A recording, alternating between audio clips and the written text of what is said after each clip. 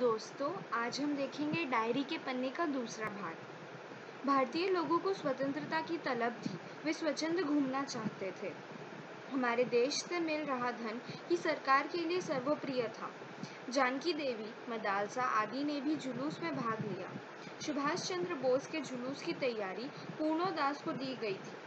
उतनी मात्रा में पुलिस पुलिस मौजूद नहीं थी तो भारतीय लोगों को लगा कि पुलिस उन्हें रोक नहीं सकती, लेकिन ऐसा नहीं हुआ। दो तरफी सूचनाएँ निकल चुकी थी, एक अंग्रेज़ी सरकार की ओर से, दूसरी भारतीय लोगों की ओर से। सुभाष बाबू को स्थान पर, उसी स्थान पर रोक दिया गया, पर भीड़ को नहीं रोक पाए। देख ना सके ऐसी स्थिति में क्षितिज चटर्जी का फटा हुआ सिर मिला। बड़े बड़े नेताओं को गिरफ़्तार कर लिया गया। बिना गुनाह के 105 स्त्रियों को गिरफ़्तार किया गया। तस्वीरों के माध्यम से देश भर में जागरूकता फैलाई जा रही थी। बंगाल के लोगों में आज़ादी के लिए कुछ भी नहीं कर रहे थे, ऐसा उन पर कलंक था जो आज मिट गया था।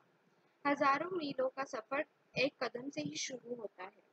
कोई परिवर्तन के लिए हमें दूसरों का इंतज़ार नहीं करना चाहिए, हमें स्वयं ही वो कदम उठा लेना चाहिए। संयुक्त वाक्यों में दो वाक्यों को स्वतंत्र होता, होना, होते हैं। मिश्र में एक वाक्य मुख्य होता है, तथा दूसरा उस पर निर्भर। अब हम देखेंगे बिहारी के दोहे।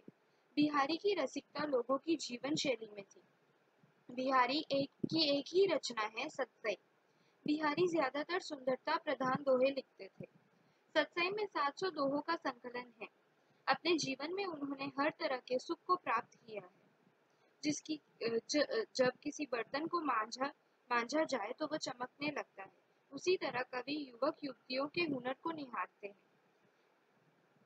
बिहारी के दोहों में दोहे दिखने में छोटे हैं परंतु हमारे हृदय में बड़े बड़े सवाल खड़े कर देते हैं।